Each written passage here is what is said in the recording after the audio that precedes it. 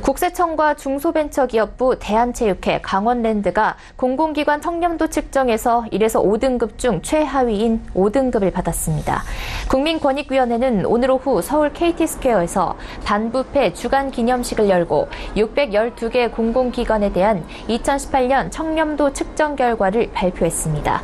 선수 선발 의혹 등이 끊이지 않는 대한체육회와 채용 비리 문제가 컸던 강원랜드는 작년에도 5등급이었고 국세청과 중기부는 각각 4등급과 3등급에서 올해 5등급으로 떨어졌습니다.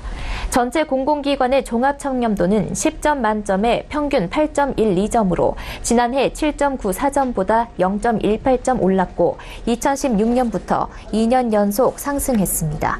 권익위는 작년보다 외부 청렴도와 정책 고객 평가 점수가 크게 상승했다며 청탁금 지법 시행으로 부패 경험률이 줄어들었고 공공기관에 대한 부패 인식이 전반적으로 개선된 데 따른 것으로 보인다고 분석했습니다.